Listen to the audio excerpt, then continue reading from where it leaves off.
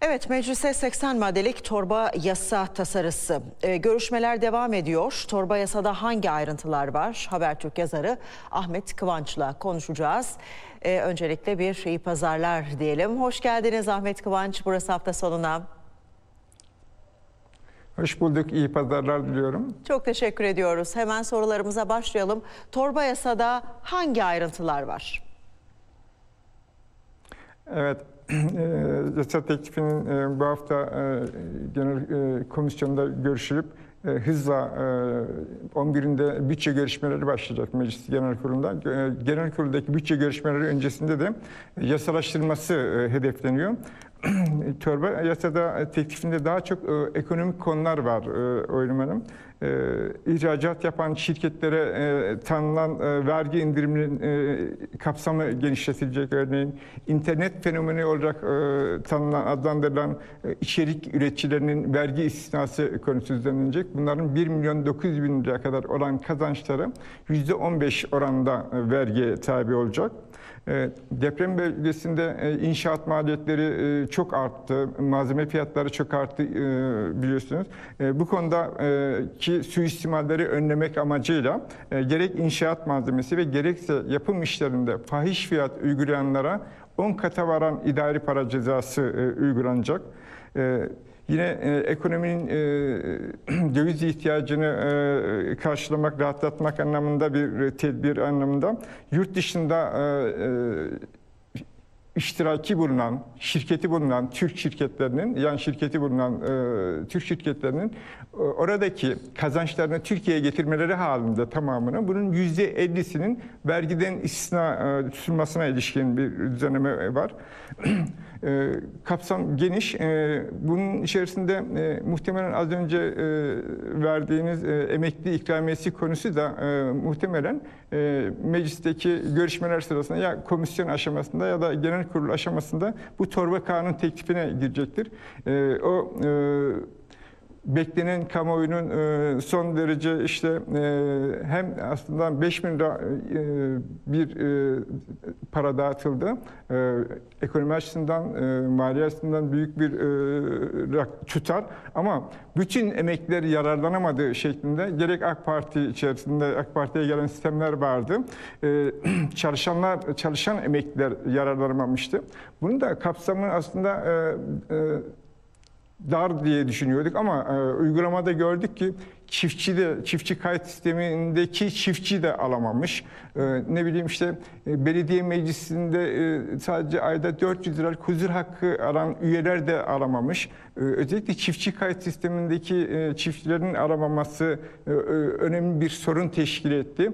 Bunlara e, yıllık e, işte bazı çiftçilere yani arazisi küçük olan 10 dönüm 20 dönüm olan çiftçilere verilen yıllık e, işte e, gübre mazot desteği 1000-1500 lira gibi bir tutardı. Bu tutar e, aldıkları için bunlar çalışan emekli olarak kabul edilip 5000 lira ikramiyenin dışında bırakılmışlardı. Şimdi hakkaniyet yerine gelmiş olacak 5000 lira ikramiye tüm emekliler yararlanacak şekilde düzenleme yapılacak.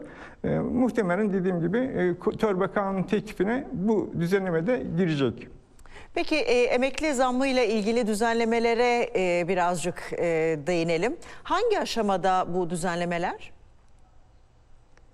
Evet, emekli zammı ile ilgili e, beklenti var. E, bu konuda e, seçim öncesinde de bazı e, açıklamalar olmuştu. İşte e, emekli aylıklarına kademeli iyileştirme e, yapılacağına ilişkin.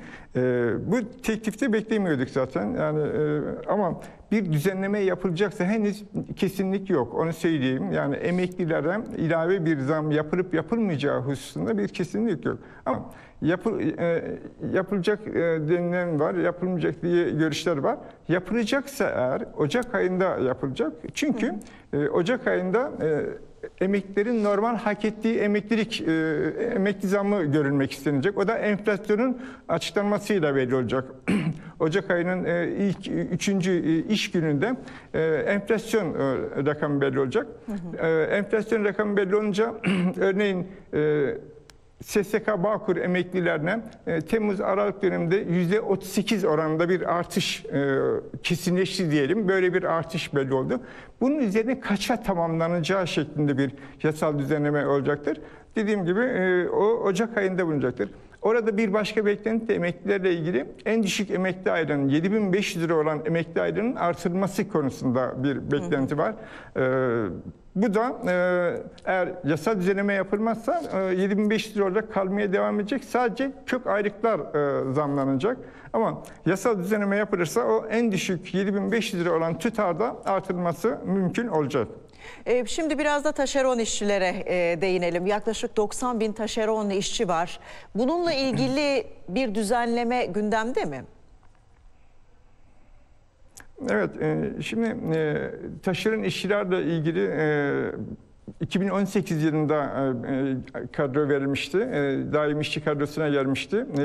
Yaklaşık 800-900 bin kişi bu kapsamda hem yerel yönetimlerde hem diğer kamu idarelerindeki taşeron işçiler kadroya alındı.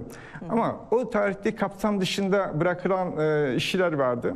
Yaklaşık o tarihte e, 60-70 bin kişi deniliyordu. Şimdi onların sayısı arttı. Giderek de artmaya devam ediyor. 90 bine geldi. Ee, henüz e, en azından e, bakanlık kanadında bu konuda bir hazırlık yok ama e, en son yapılan üçlü danışma kurulunda e, hükümet, e, işçi ve işveren temsilcilerinden oluşan üçlü danışma kurulunda bu konu e, işçi sendikalar tarafından gündeme getirildi ve e, e, öncelikli olarak çözülmesi e, istendi, talep edildi.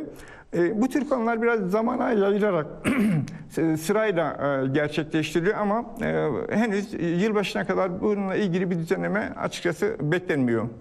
Şimdi biraz da ev hanımları. Ev hanımlarının emekliliğinin e, kolaylaştırılması çok uzun zamandan beri konuşulan bir konu. Bu konu ne zaman gündeme gelir? Ee, Ev hanımları konusunda e, evet e, o konuda da e, AK Parti'nin seçim öncesinde açıklamaları oldu. Hem seçim beyannamesinde de bu konuya yer verdi. Dedi ki AK Parti'nin seçim beyannamesinde şu ev kadınları işte ev işleriyle uğraşıyorlar.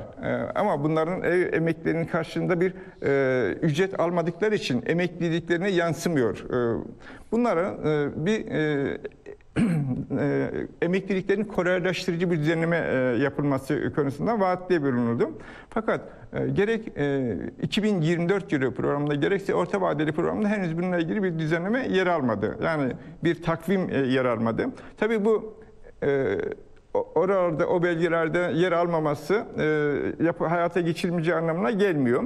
E, Ekonomik Koordinasyon Kurulu e, işte karar verir, e, kabine e, karar verir ve e, her an e, bu torba kanun teklifine bile girebilir. Yani o konuda bir e, sınırlama yok. Burada esas yapılmak istenen şu, e, ev kadınları e, Türkiye'de aslında Türkiye'de kadın istihdamı e, çok düşük e, Oynum Hanım. Yani bizim e, hem dünya ortalamasının çok altında hem de bölge ülkelerinin bile e, altında bazı bölge ülkelerinin inanamayacaksınız ama bazı bölge ülkelerinin bile altında e, kadın istihdam oranımız. E, yüzde e, yani çalışma çağındaki 100 kadından sadece 31'i istihdamda yer alıyor. Ve bunların da bir kısmı, önemli bir kısmı tarım sektöründe olduğu için ücretsiz aile işçisi durumunda. Hmm hem e, ev kadınların hem o ücretsiz aile işçisi e, durumundaki e, tarım sektöründeki kadınların istihdama katılması, bunların emeklilik güvencesine kavuşturulması gerekiyor. Burada esas üzerinde durulan şu an için husus şu, mevcut uygulamada bir isteğe bağlı sigorta primi sistemi var.